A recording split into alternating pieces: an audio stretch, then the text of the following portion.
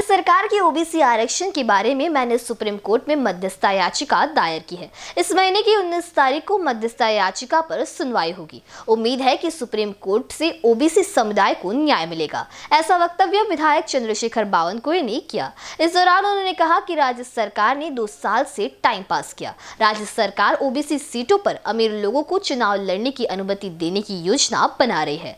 उन्होंने आरोप लगाया कि राज्य सरकार ने जानबूझकर गलत अध्यादेश जारी किया है और इस अध्यादेश में एक हज़ार त्रुटियाँ है। सुप्रीम कोर्ट ने राज्य निवडणूक आयोग और राज्य सरकार को चार महीने चुनाव नहीं लेने का आदेश देना चाहिए। इसलिए कि राज्य सरकार ने कहा है कि तीन महीने के अंदर हम इंपेरिकल डेटा तैयार करते और ओबीसी आरक्षण का निर्णय करते हैं। इसे राज्य सरकार ने अभी कहा है। ये तो तेरह बारह 2019 का सुप्रीम कोर्ट का निकाल आया था, चार मार्च 2019 का सुप्रीम कोर्ट का निकाल आया था, तभी कहा था, तभी करना था सरकार ने, लेकिन दो साल सरकार ने फुटबॉल किया, जानबूझ के ओबीसी आरक्षण नहीं दिया, जानबूझ के इंपेरिकल डेटा नहीं बनाया, केंद्र सरकार का डेटा चाहिए करके झूठ बात महाराष्ट्र की जनता को बता रहे थे।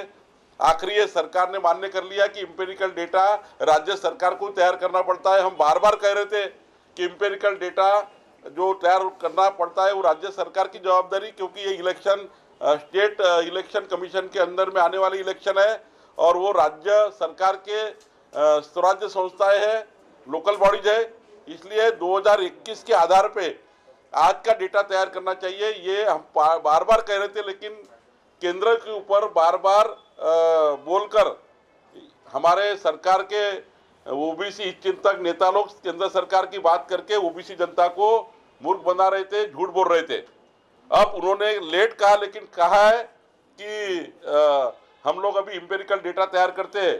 तो ठीक है आ, हम सुप्रीम कोर्ट को विनती किए हैं कि आने वाले तीन महीने तक चार महीने तक इस सरकार को समय दीजिए।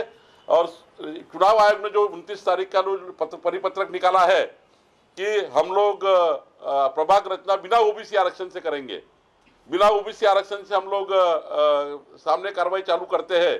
ये जो परिपत्रक 29 तारीख को निकाला है, वो वापस लेना चाहिए, ये भी हमने डिमांड की है।